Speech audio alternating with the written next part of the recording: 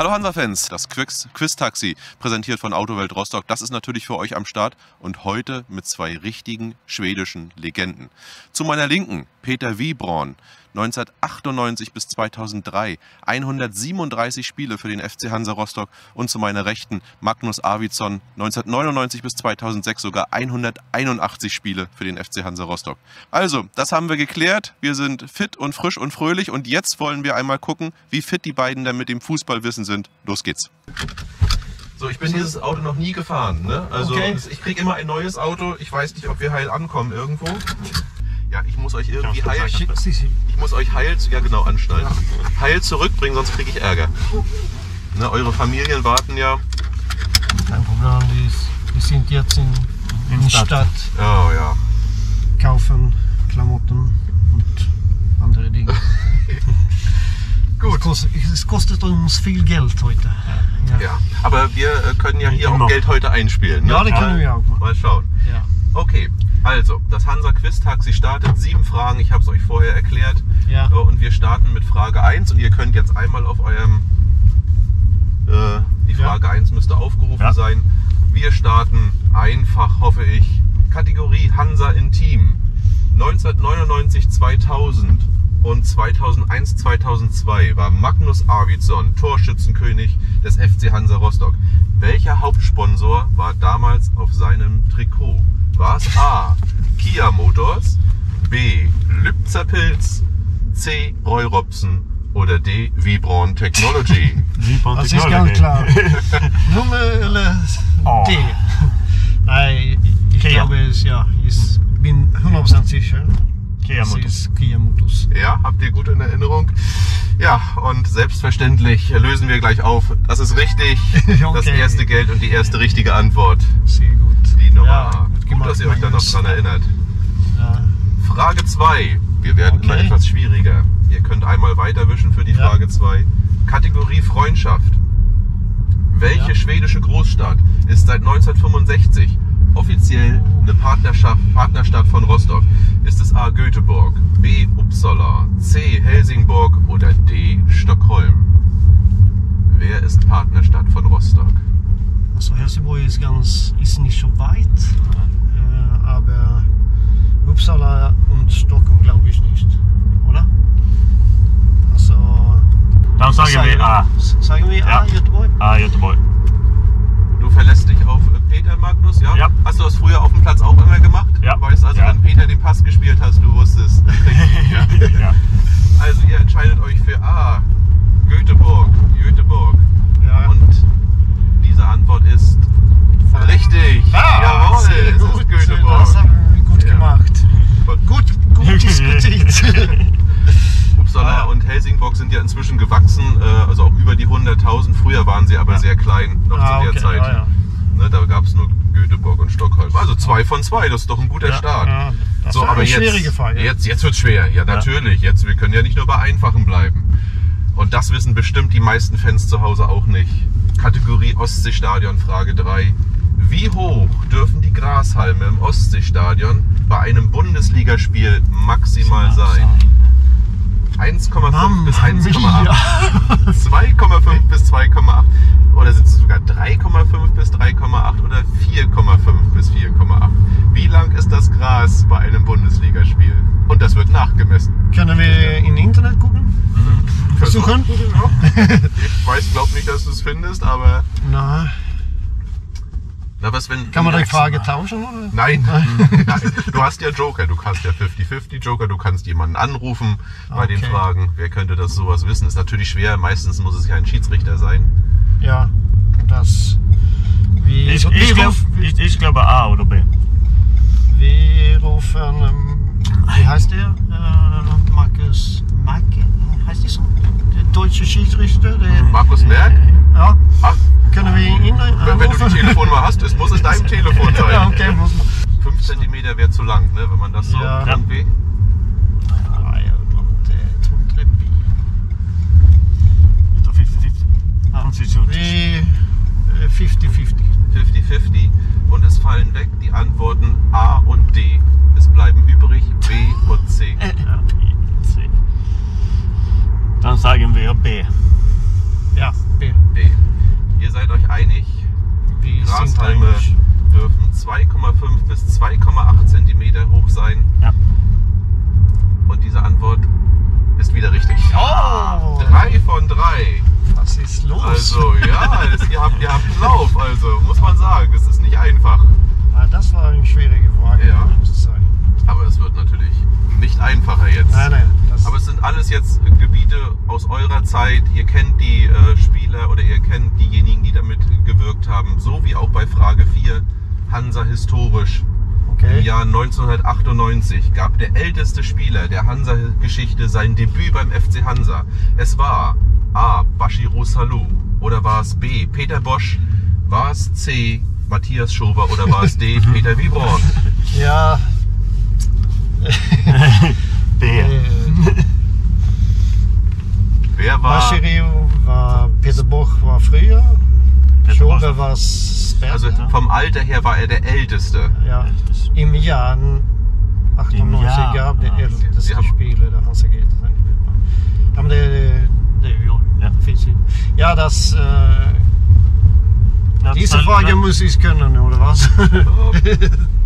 Also derjenige, ich gebe nochmal einen Ja, Hinweis. ich, ich weiß, dass äh, 98 im November kam ich nach Rostock Ja. und ich war äh, 29 Jahre. Genau. Äh, Jetzt ist die ich war Frage. ganz alt. äh, so, äh, aber die Han Frage ist, waren die anderen nej. älter? Och Bashir var später. aber es ist im das Jahr 98. Ja. Ja, Det är Peter Wibran. ja.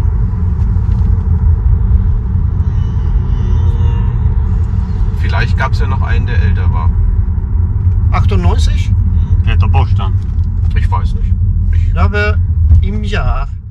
mm, Aber er spielt nicht in 98. Han spelade inte Ah. första innan du kom. Bashiri Salou. er, kann schon da, er kann schon da gewesen sein, sozusagen. Er muss nicht gekommen sein, aber in diesem, also 1998 lief einer von den Vieren auf und bis heute war es der älteste, der jemals aufgelaufen ist in seinem ersten Spiel für. Ja, Okej, da kan auch äh, ich, ja das kann, Bei 29, da warst du ja noch ein junger Hüpfer. Mit ja, men den, 29. då är det ju Peter Boch måste det vara. Ja, han har jag aldrig spelat med. Nej. Aber, ja, er kan ju 97, 98 Saison gespielt, Peter Boch. Ja. Ja, Und ich kam für die Saison 98, 99. Ja. Äh, ja, wir, äh, wir ändern unsere Antwort. Und Auf Matthias Schober jetzt. ja. Nej, Bashir Salou. Wir sagen äh, B, Peter Boch. Ihr sagt Peter Boch, Peter Bosch. Fan, jag sa det från början. Und er ist äh, 1998 auch aufgelaufen für Hansa. Ah, der geboren, geboren wurde er 1963. Und er ist aufgelaufen mit 34 Jahren und Ach so. 81 Tagen. War Ah. sein erstes Spiel, hier sein Debüt. Äh, und er ist der älteste Spieler Ah, der der war's. Hansa-Geschichte. Das war richtig die Antwort, Peter Bosch. Ja. Vier von vier, also noch Nein. einmal umgeschwenkt. Aber ab jetzt gibt es keine Hilfe mehr. Nein, aber det er- verstehe ich. Ich war so sicher, dass es Das war du- 98, aber äh, die Saison, die Saison war 97, 98 hat er gespielt, ja. Ja. Ja, Genau. ja dann, okay. Gut, also. Und jetzt bin ich ja mal gespannt. Äh, Ja, die ich Kategorie 5, Yes. das Hansa Fanshop. Was bzw. wofür ist das? Und ich gebe euch beiden jetzt etwas. Ich zeige es hier mal in die. Ihr kriegt das in die Hand. Das kann man richtig kaufen bei Hansa. Und ihr sollt mir sagen, was das ist. Ist es ein Brieföffner? Ist es eine Pitchgabel? Ist es ein Kühlschrankmagnet? Oder ist es fürs Auto, für den Reifen ein Profiltiefenmesser? Tut man es an den Kühlschrank? Braucht man es beim Sport auf dem Golfplatz? Macht man damit eine, einen, Brief, einen Brief auf? Oder misst man damit die Autoreifen vielleicht?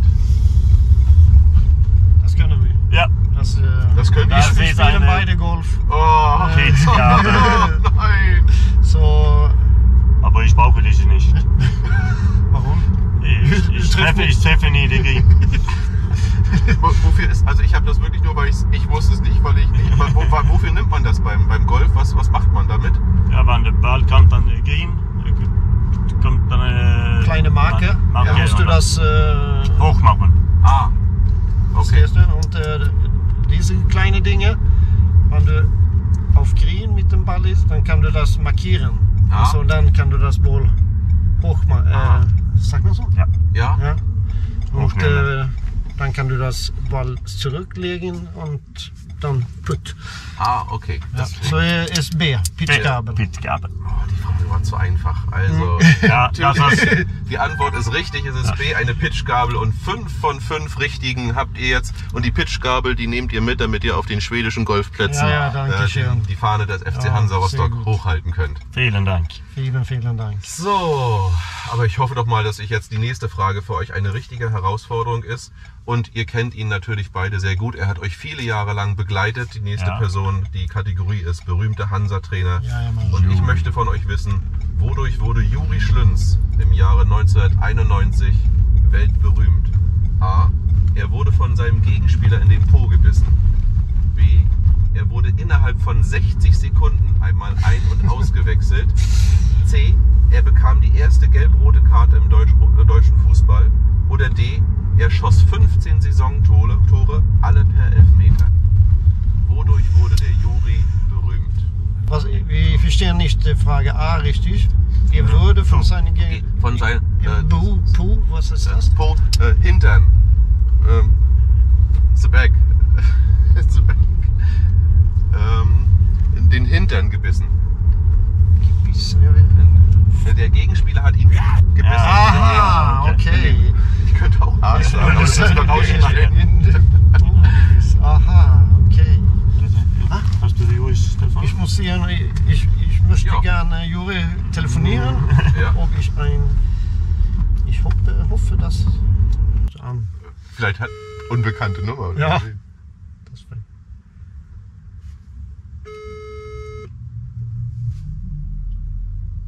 Er ist in Kühlungsborn, Ja. trinkt Bier Ja. Auf seinem Balkon. Oder er schläft. Ja. Hallo Juri! Hallo Juri! Avison hier auch. Magnus, ihr seid beide äh, bei Hansa, ne? Ja, Quiz-Taxi. Sehr gut. Alles okay? Ja. Also. Du, Juri, wir haben hier eine Frage. Äh, ich hoffe, dass du uns helfen kannst. Äh, es ist so hier. Äh, wodurch wurde Juri Schlüns im Jahr äh, 1991 weltberühmt? Und dann haben wir vier Alternativen. Weltberühmt. Ja. Ja. Kannst du das äh, äh, oder möchtest du die Kann ich äh, sofort beantworten. Ja. Ich, ich, ich, ich, ich glaube A. Er wurde von seinen Gegenspieler in der Po gebissen. Stimmt das? Ja? Oder einer ausgewechselt? Innerhalb von sechs. Ausgewechselt wurde ich nicht. Nein. Ich glaube, du hast 15 Saisontore von Elfmeter gemacht. Elfmeter habe ich auch nicht geschossen, weil ich Angst hatte zu verschießen. Ja. Ich habe lieber Freistöße geschossen. Ja. Ja, ja. det erste gelbe, gelbrote Karte. Genau, Ja? Aha, das war das. Das war Das war das. In deutschen Okay. Fußball. Ja, was macht ihr denn da? Wollt ihr Geld gewinnen oder was? Ja. was Ja, ja. Ja. Wir haben, diese, diese ist das, Quiz-Taxi von Hansa. ja, aber welche Frage? Sechste Frage. Sechs Fragen. Wir haben äh, fünf richtige Antworten gemacht. Und jetzt sechs. Ja. Oder, es, oder es gibt Schnaps. Geld oder Schnaps, ne? Ja, ich liebe Schnaps hoffe ich. Schnaps hoffe hoffen wir ja. Und Snus auch. Aber sehr, sehr gut, Juri. Kommst du morgen? Nein, Nein? bis Montag. Bis Montag, äh, die Insel. Ja, okay. Okay. Ja, ja. Ja, Vielen Dank, Juri. vielen Dank für deine Hilfe. Ja. Ja, Wir sagen C. Er sagt C. Er bekam die erste gelb-rote Karte im deutschen. Fußball. Und wer, wenn nicht Juri, weiß das? Und die Antwort ist natürlich richtig. Ja. Sechs von sechs. danke. Vielen Dank, Juri. Aber ist ja perfekt. Er hat deine Nummer noch eingespeichert nach so Ja, ja. langer Zeit, dass er sofort sagt: Hey, Mensch, Peter. Aber Juri war äh, 2004 bei mir äh, zum Besuch. Ah, Ja, und wir, wir, wir hatten manchmal Kontakte. So. telefonieren und äh, SMS. So. Mhm. Auch mit Andreas Sachober. Okay. Ja. Ja, und auch mit den Fans. Die haben ja mal eine große Fahrt zu dir gemacht. Besuch bei Peter Webron. Ja, 2003 da, ja. Gegen, äh, wir spielen gegen Hammarby. 4-4 war das Spiel. Super schönes Spiel. Und äh, super schöne Stimmung auch bei der Hansa-Fans. Und jetzt wird es richtig interessant. Die Frage ist Mitspieler und das ist jemand, mit dem ihr zusammengespielt habt. Und ich möchte von euch wissen, wer ist das? Ist das A. Thomas Ganzauge? Ist das B. Perry Bräutigam? Ist das C. Andreas Jakobson? Oder ist das D. Christian Brandt? Er hat mir das Bild geschickt. Ich soll euch schön grüßen. Ja. Und er ist gespannt, ob ihr ihn erkennt. Wer ist das? Nee, Eh, Ich habe kein Bild. Peter hat kein Bild, aber ich Ja. kan hergucken. Na, Äh, wem äh, sie- Jakobsson ist das nicht. Christian Brandt nicht. Christian ich. Brand nicht. Wir ähm, diskutieren äh, Ganzauge oder Bräutigam. Aber, Aber wir es sieht, äh, sieht wir aus, sagen Ganzauge. Ja, es sieht aus wie Ganzauge. Muss so sein. Es ist halt ein schwarze Haare. Ja. Ja. Ganzauge ist, glaube ich, ja ist gar nicht mehr in Deutschland. Ne? Der ist, glaube ich, irgendwo im Ausland jetzt. Ja. Ja. In Chicago hat er eine, eine Fußballschule. Ja, noch? Noch. Ja, okay. Und ähm, ja, Magnus, bist du dir auch sicher, dass es äh, Ganzauge ist oder könnte es doch der Perry sein? Ah, ich habe, er, er sagt Perry. ich habe erst mal Perry gesagt, aber Äh, aber, Aber du hast ja immer gesagt, du vertraust dem Peter. Vertraust du ihm jetzt auch, Ja. würdest du sagen, es ist? Oder sagst du, nein, ich überstimme ihn jetzt und es ist doch der Perry? Es geht um den absoluten Rekord. Sieben von sieben hat hier ganz, Auf. ganz selten nur jemand im Auto. Das wäre die Maximalsumme für ein gemeinnütziges Projekt. haben wir noch einen Joker? Äh, ihr könnt jemanden anrufen, könnt ihr noch, ja. Aber das weiß keiner. Aber ihr, es ist richtig, einer von beiden ist es. Ja. Das kann ich euch Ja. schon mal sagen. Ihr seid auf der richtigen Spur. Und einer von euch beiden hat recht, das kann ich auch sagen. Uff. Ihr könnt ja mal im Internet gucken nach, äh, nach Bildern sozusagen, Nein. Denn aussehen. Haben die Spieler bei uns auch immer gemacht, wie die aktuell aussehen. Weil das Bild findet ihr ja nicht. Wie alt ist die dann? Da auf dem Bild, oh, Ja. das hat er mir nicht geschrieben. Ich habe nur Ah. gesagt, ich brauche ein Kinderbild von dir. Kommt das Bild von äh, Amerika? Ihr wart beide auf seiner Abschiedsparty. Das kann ich euch noch sagen. Abschiedsparty. Weil ich ihn gefragt habe, kennen die dich dann überhaupt und wie gut und so. Ja, ja, die beiden waren auf meiner Abschiedsparty damals von Rostock. Ja, jeg sa Då är- par, då jeg är sa du- party. Da, Perry. då är du med Perry. Ja. Ja, ja, ja. Ich glaube Perry. Hat Magnus... Okay. Ah, Peter, ja. wer übernimmt die Okay. Verantwortung? Ja? Ich, ich mache das. Ich sage, Ah. wir sagen B, Perry Bräutigam. Ich, äh, wir sind ja noch einen kleinen Augenblick bis zum Stadion. Ja. Ne, bis dahin warte ich noch. Erst war, äh, war der, oder war ja Thomas Ganzauge ganz sicher, jetzt ist es Perry Bräutigam ganz sicher. Ich will euch ja nicht auf die falsche Spur lenken. Peter, wer hat früher auf dem Platz die Verantwortung übernommen? Wenn es dann ging, jetzt wird es knifflig. Wer musste jetzt sagen, wir laufen links, wir laufen rechts? Wer hat die entscheidende, die Entscheidung gemacht? Warst du das oder war Magnus das? Magnus. Magnus hat immer die Entscheidung gemacht. Nein, habe ich nicht. Peter hat das gemacht. Wer war auf dem Platz derjenige, der gesagt hat, Ah. das ist es jetzt? Die nächste Antwort von euch, die locke ich dann ein. Ja, ja, okay. Da diskutiere ich auch nicht mehr lange. Oh, Ja, wir sagen B, Perry. Okay. Ihr entscheidet euch für B, Perry Bräutigam. ja, fel. Das ist falsch. Und die richtige Antwort ist, ihr könnt weiterwischen und dann seht ihr, wer es ist. Ah, Ganzauge. Es ist Thomas Ganzauge. Peter, du hast es eigentlich gehabt. Und Magnus sagt auch noch, auf dem Platz hat Peter doch immer die Entscheidung übernommen. Es war mit den Haaren, du warst eigentlich richtig. Ja. Ja. Ja, ich soll euch ganz lieb grüßen. Er freut sich und äh, Er freu, würde sich auch freuen, wenn ihr ihn mal in Chicago besucht und mit ihm zusammen eine okay. Trainingseinheit in der Fußballschule dort macht. Entschuldigung, ganz Auge. Ja. Ich glaube, das war da gerade euer Auto, das Ja. der Werkstatt war. Die Werkstatt ist noch da. Ja, aber sie schleppen ihn gerade ab. Ah? Der ADAC war da. Das sind schon. Ja. Aber wir haben ja hier ein Auto von Autowelt. Insofern, wenn euer Auto nicht mehr funktioniert, dann nehmen wir den hier. Ja, Okay. also dann bekommt ihr den. Ja. Zumindest für das Wochenende. Gut, sechs von sieben und wir Ah. haben es äh, auf den Punkt geschafft, weil Magnus Verantwortung übernommen Ja. hat. ja, das war. Entschuldigung. Ja, Magnus. So. Aber 6 von 7 ist gut. Das sind immerhin zum Beispiel zusammengerechnet 150 Euro. Ja. Und wir werden auch gleich ja verkünden, wohin das Geld geht. Ah, ja.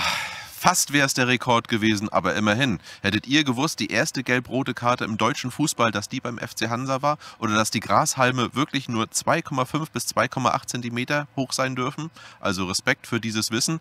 Ja, und insgesamt sind es 150 Euro geworden. Und heute ziehen wir nicht, äh, wohin dieses Geld geht, sondern die beiden haben sich entschieden, dass sie an das Projekt Together as One, ein Kinderheimprojekt in Ghana, spenden möchten. Dort geht das Geld hin und ich glaube auch, dass das da ganz gut aufgehoben ist. Ja, Peter, hat Spaß gemacht hier im Auto? Ja, viel Spaß. Da, ja, ich bin äh, 100% ganz Auge, aber, aber ja, man kann nicht äh, alle, alle richtige Antwort haben, aber äh, macht viel Spaß. Ja. Gut, ja, äh, Thomas Ganzauge Magnus, also zum Elfmeter angetreten, sagt man, ne? Das ganze Stadion wartet und Magnus Arvidsson verwandelt nicht. Das war ganz knapp. Du wirst dir nachher noch einiges anhören müssen. Ja, äh, Entschuldigung, äh, ganz Auge, dass ich nicht äh, dich kenne. Aber äh, ja, manchmal geht äh, ähm, manchmal alles richtig, manchmal äh, ein kleines Fehler. Und Aber sechs von sieben ist ja gut und ich glaube, Thomas Ganzauge würde als Entschuldigung akzeptieren, wenn ihr ihn wirklich demnächst einmal besucht. Ja? Also, ich hoffe, ihr hattet wieder Spaß zu Hause beim Mitraten, Mitlachen, Mitfiebern und bis bald von dieser Stelle. Ahoi.